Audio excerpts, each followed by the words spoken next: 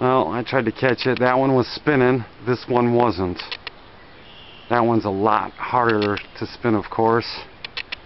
That's how turbulent the winds are out here. Well, here we are. Here's the modified one. It's chugging along. I think the highest I've seen it go was probably 150. And keep in mind, Uh, the PMG is spinning twice as fast. So it's doing about 280 RPMs. And if we go to this other one here, this one's the 7 blade. This thing will shoot up to like 450. But it, it fluctuates pretty good. Oh, there you go. Hey, 400. Let's see what this one's doing. Go, 162. That's the highest I ever seen it go.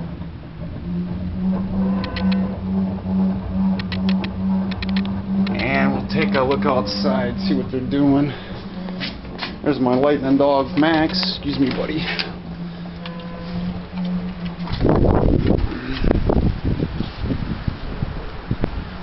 There they both are. That one's really humming along. Just chugging along. Nothing special. And because the pole is shorter, um, I can't get 80 Falcon, or 80 inch Falcons on there, but I can get them on that one. I got a set of five blade um, Falcon 5s coming.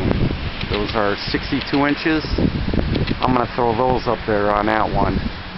If that doesn't work, I'll get the 80 inch and I'll put that modified one on that pole, drop the chains down a little bit, and then take the seven blades off of that one and put the the Falcon 5s on there. As far as power, these things have been plugged in for a while now. Check the watt meter here. See if you can see that. Okay, 6.8 watts, kilowatts. Actually, that was 0.68 kilowatts in 282 hours.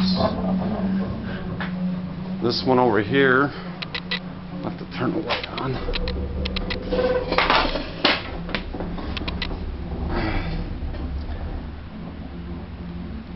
This one over here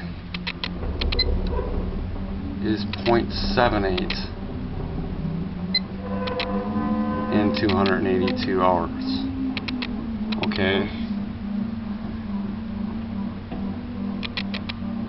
That one's actually spinning pretty good.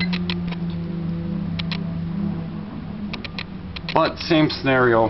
Um, looks like the seven blade regular PMG is gonna beat out the modified one. We'll see what the Falcon 5 blades do to this thing.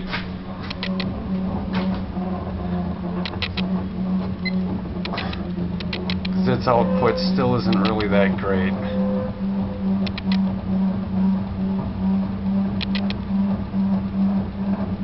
But it's working. Just not as good as I'd hoped. Well, here we are at the back of my house with my ADD camera, I'll call it.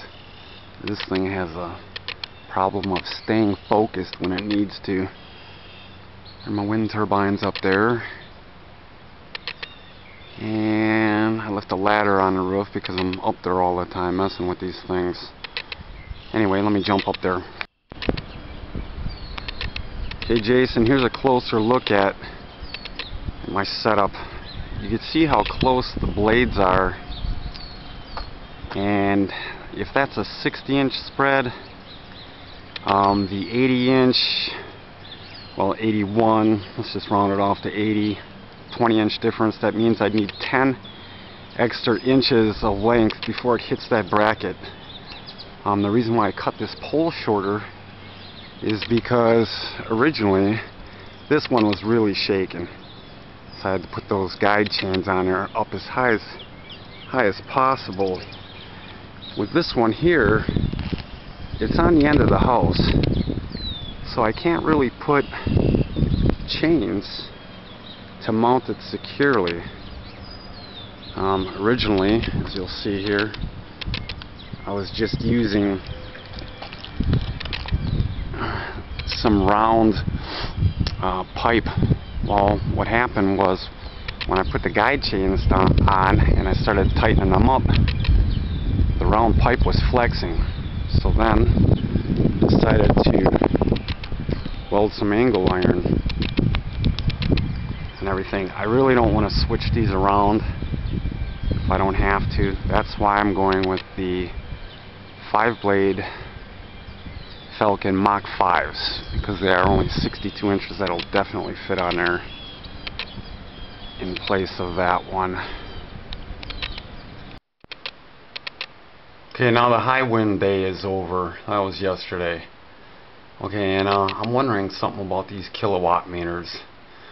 Just to have this thing plugged in takes 2.2 watts. Okay, when you're making power, does it just add that on to the 2.2 or because you know it don't go backwards um, I think this thing just uh, reads total power being used or coming out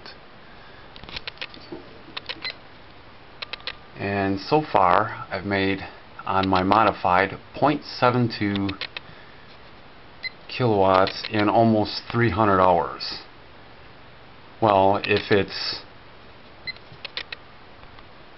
2.2 watts just to have it plugged in. I didn't even make that then. Um, that's the modified one. Okay.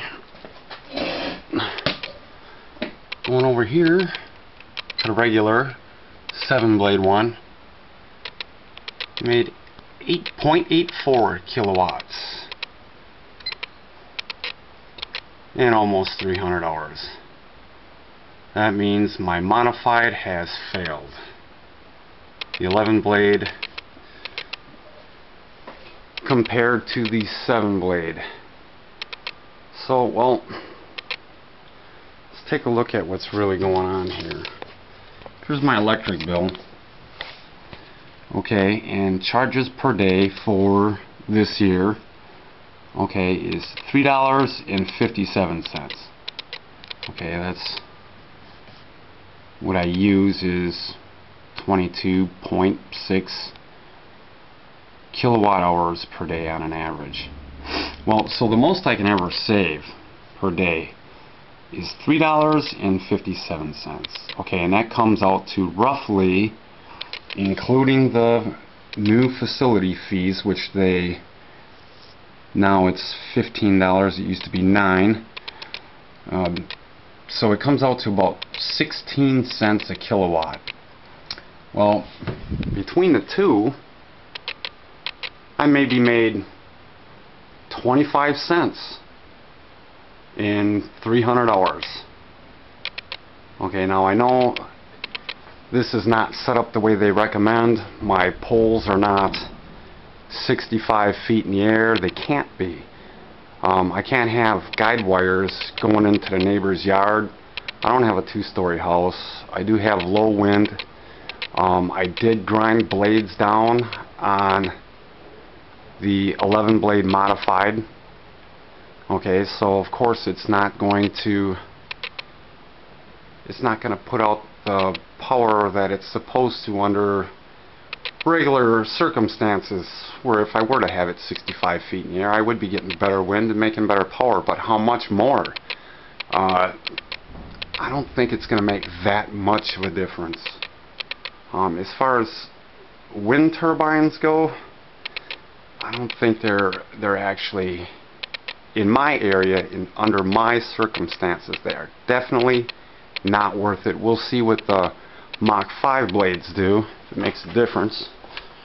Um, what I'm really interested in now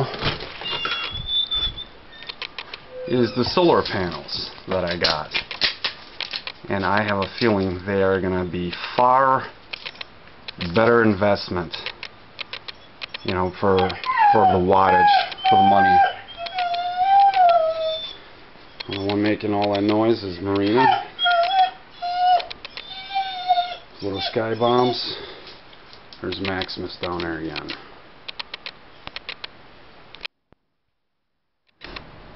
All PMGs are not created totally equal.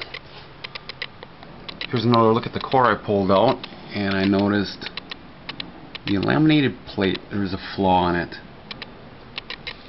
Looks like uh, two or three are sticking out a little further than the rest of them. This is from that 12 volts. Will it make a difference? Probably not. Um, what the company that makes these needs to do though, if they can, is to try and figure out a way to make them so the cut-in the cut-in speed is a lower RPM than 240 because then I wouldn't be forced to modify the one that I had. Because the way these are now um, with the wind I got you know they just don't make enough power.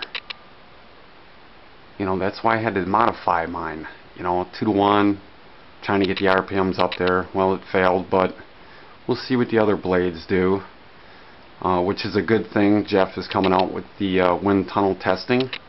That would have helped me out a lot.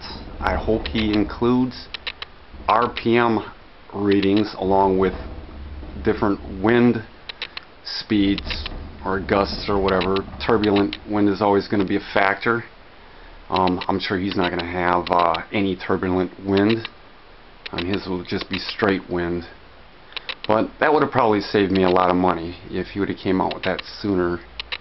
Um, I had a neighbor say, hey, I see you got your uh, wind turbine set up. Are you making any power? I'm like, yeah, well, I'm making power.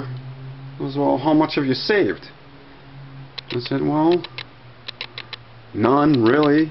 I'm not going to tell him I made 25 cents in 300 hours, you know, between the two of them. So unless I can figure out this blade thing, these are really not worth it. Um, not my situation. Um, if you live somewhere else where it's windier, by the side of a cliff or something, they might work wonderful.